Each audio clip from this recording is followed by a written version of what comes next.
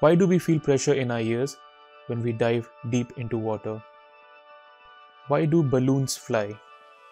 Why does some object float in water while others sink? In this ANSYS Innovation course on fluid statics, we will answer all these questions.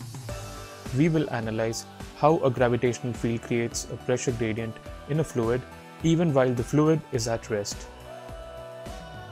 We will dive deep into the Archimedes principle, understand the concept of buoyancy, learn about pressure measuring instruments such as barometers and manometers.